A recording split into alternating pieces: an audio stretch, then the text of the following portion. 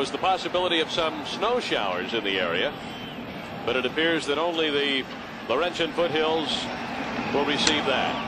Love spots it up. Carter wants it. And he'll make the play. One down, and Bill Russell will come to the plate. Here's the Dodger lineup. Dave Lopes and Bill Russell and Dusty Baker. Steve Garvey in the cleanup spot. He's had a magnificent series so far. Ron Cey in the fifth spot. Rick Monday, the veteran in right field. Pedro Guerrero, Mike Scioscia, and Fernando Valenzuela. Russell so far has had three hits and 12 at bats against Montreal in the league championship series. Russell, the type of guy that can move the ball around to all fields, occasionally will bunt, but not too often. Now for postseason play overall, he's batting 250. I guess that's about the way it's gone this year for Bill Russell. Hasn't been a good year offensively for him. One ball, one strike. You know, there's some hitters in both the National and American leagues now suggesting, Duke, that 300 is no longer the benchmark for the good hitters that because of the specialists in pitching now, the special mid-relief men and the outstanding relief pitching, that the benchmark should be somewhere around 285 to 290. Two balls, two strikes for Russell. Well, I don't know, Dave. But AstroTurf makes a big difference in the National League. Many of the fields are AstroTurf, and that makes hitting that much easier. So I think it equals out. A shot past Cromartie to the right field corner.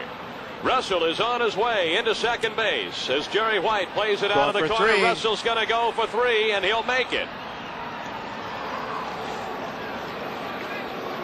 That's the type of hitter Bill Russell is. He'll go the other way. That time, hit it right down the line. There was no chance for anybody.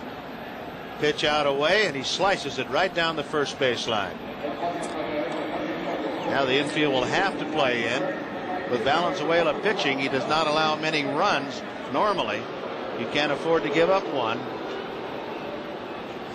So Russell at third base, one out, and Dusty Baker, who has six hits and 15 at bats against Montreal in the League Championship Series against Ray Burris last Wednesday. He was two for four. The infield in with Russell at third base.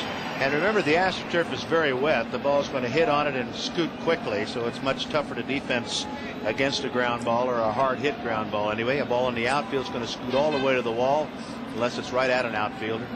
Tough outs here. Baker in the batter's box. Garvey on deck. One away. And a chopper for Parrish who holds the runner and makes the play to first base. That is the way Ray Burris has to pitch, as we'll see that.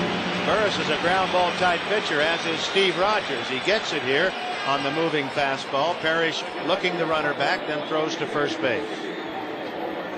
A play not dissimilar to the play that Parrish made to start a double play in Los Angeles in the Ray Burris ball game. Different Right. situation, a short hop at third, but a play not unlike that one Wednesday.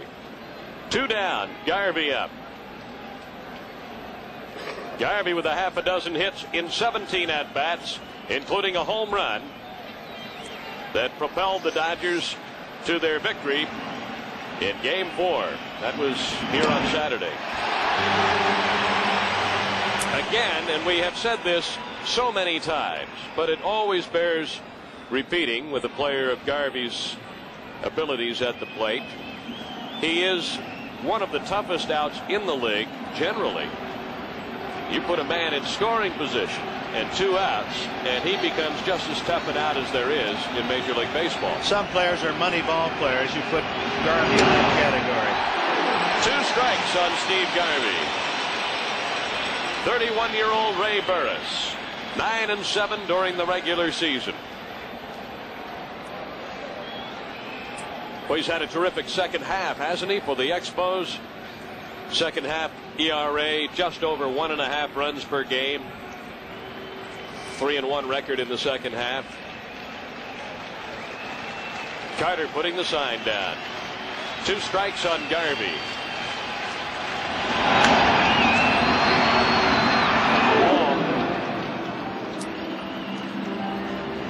Burris following the pattern, Duke, that has been successful in getting Garvey out, and that is down. That ball down, he's chased quite a few times in this series. Chased the breaking ball out, away, and down, and that's where Burris is going to continue to try and get Steve. But the good hitters manage to get base hits off that pitch once in a while, or they're not the good hitters that they have to be. So Garvey uh, will has that in mind. He knows that uh, Burris is going to throw in some breaking balls out over the plate and down. Is Garvey a good golfer? He doesn't play golf. Uh, very seldom. I was going to say if he puts his golf swing on that, Ray might be in trouble. One ball and two strikes. There's some baseball players don't play golf because they feel it fools around too much with their baseball swing. Well, Garvey, a, a, perfectionist, and he's not been able to handle the golf and get it down to where he can enjoy playing it. Here's the one-two. Runner at third, two outs. Burris with the play on the first base. That's all for the Dodgers. It.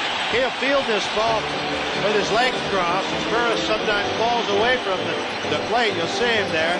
He goes down and gets it. Fortunately, it was to his left and he, as he falls away, is able to field the ball and throw Garvey out.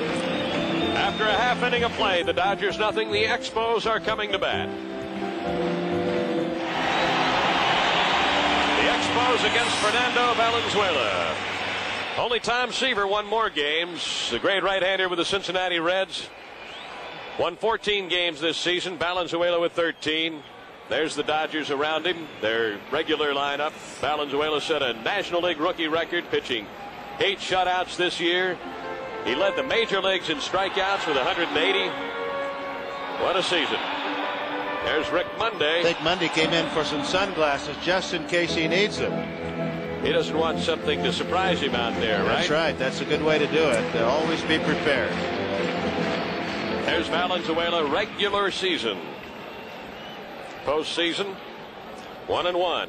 See, he's over. keeping that pitching hand in his pocket. Uh, he's not from uh, too used to cold weather down where he's from in Mexico. The only thing that's cold down there, the tequila's and the beer. Yeah, yeah. Fernando ready to go. I think the margaritas might be awfully cool at times yep. down there. He beat Houston he lost to the Expos, but his ERA in postseason play is 1.96 this year. A called strike. So the deal is you might beat Valenzuela, but you're going to have to get superb pitching on your side to do it because he's only going to give you so much. Two strikes on Tim Raines, who is four for 17 against Los Angeles pitching. Raines in postseason play, of course, missed the Philly series. Thing about Fernando, he's going to throw you strikes. You just have to be selective and the, handle the one that you can hit, not chase everything he throws. Because he will nibble away at you.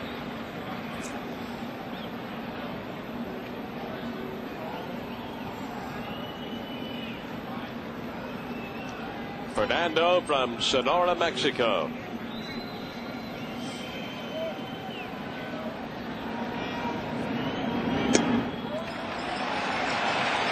Two balls, two strikes. Raines a switch hitter. During the regular season, he hit 246 right-handed, 319 left-handed.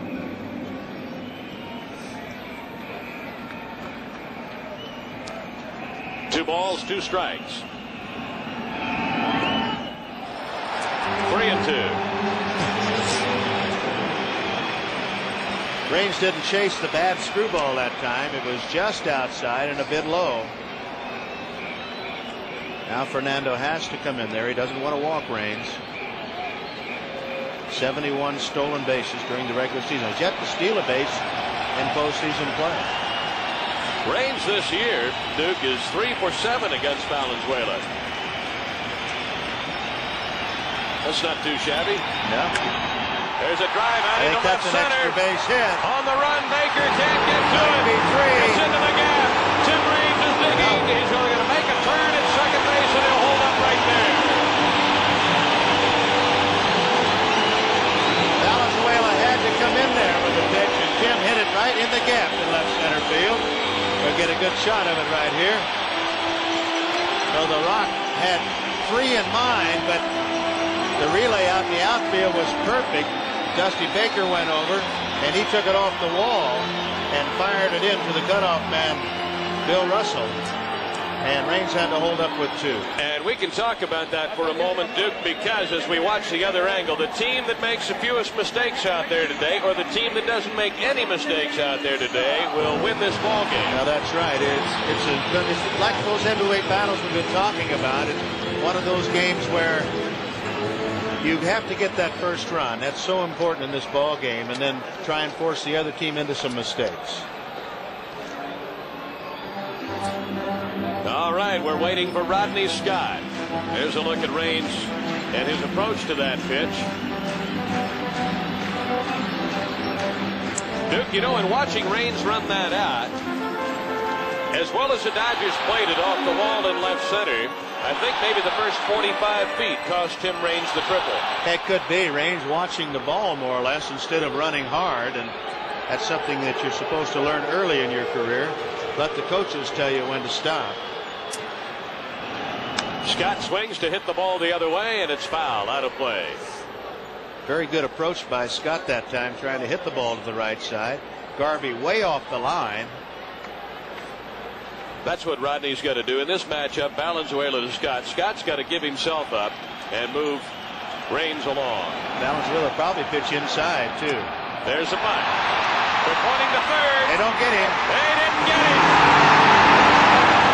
Now Rodney's caught off first base, but he gets back in. Boy, did he take a lead. I can't believe Cey didn't throw to first base. Well, Cey argued with the umpire. He thought he had Tim Raines, and Rodney was thinking about second base. Valenzuela upset with the call. He's saying something to Eric Gregg, but Raines with that head first slide, and he caught third base with the hand. Valenzuela, pretty good fielding pitcher, came up with the ball, made the throw, a deliberate throw. Watch this. He hooks it with his left hand. He's safe. He's safe. Yeah. Good call by Eric Gregg. He was safe. Here it is again. We see it again. Plus we see Kim something here. peek to that guy. Hands on the bag, then the tag is made. Close play, but he was in there. Another One more. angle. You be the umpire. He's in there. Okay, here we go. Dawson up, first and third. The speed of Scott. Think about that. Because Valenzuela is, so is Scioscia. Rodney Scott during the regular season stole 30 bases. He was only caught six times. Sacrifice fielder's choice that time.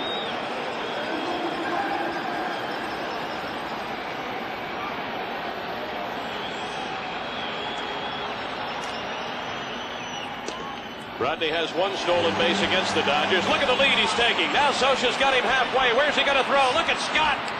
And he breaks back to first base. He's in there. Oh. Now Scioscia couldn't leave home plate.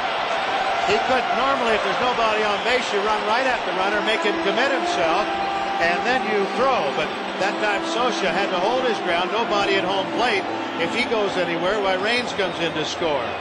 But we'll see it right here finally Rodney says hey I got a chance. As Lopes dropped the ball down to his side and he dove back in. How about that? Well, that turned the fans on.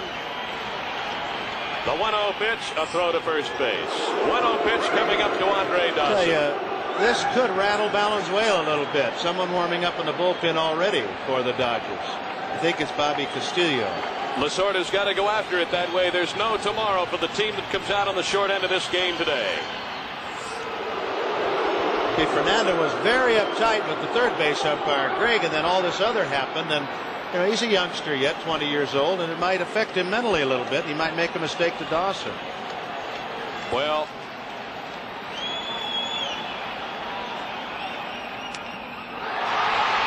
Double play. double play and a run scores. Dawson hits into the double play. Raines scores. The Expos lead one to nothing. Now there are two ways to look at this. One, the Expos took the lead, and it's very important to score the first run in this game. Secondly, Raines and Scott.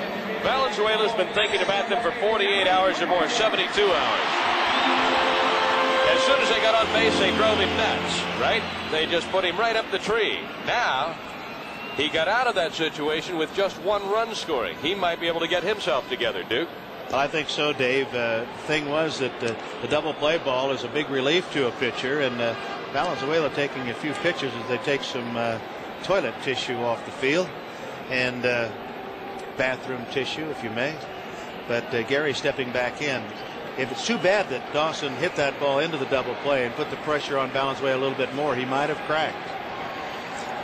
Carter 6 for 13 against the Dodgers. Gary for the regular season hit 251 slamming 16 home runs and had 68 runs batted in. He led the club in RBIs. Fly ball center field Guerrero.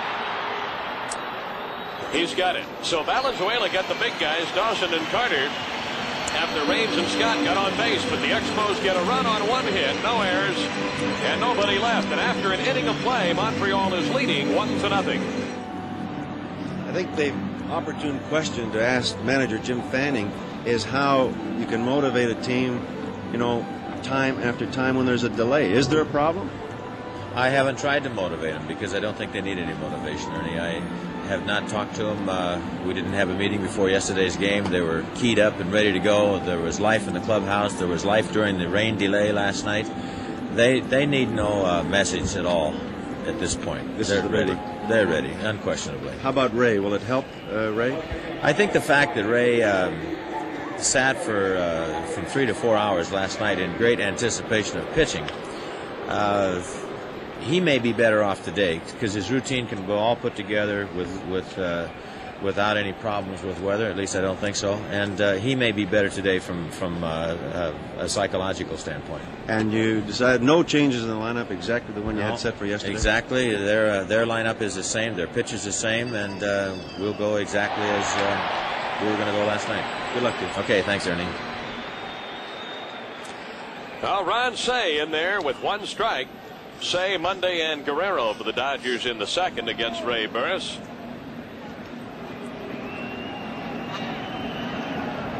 Uh-huh. One ball, one strike. Cey lifetime's been a 287 hitter against Montreal and has hit more home runs than any other current Dodger against the Expos lifetime. This year a 310 hitter against the Expos. One ball and two strikes to Cey.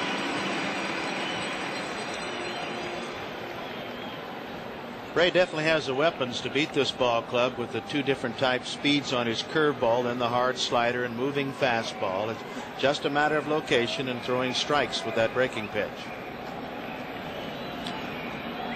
Does not mean he'll pitch a shutout, but Right. he'll pitch a low run ball game. Ron Cey with a 2-2 count, by the way, has got five hits in 15 at bats against Montreal in the league championship series.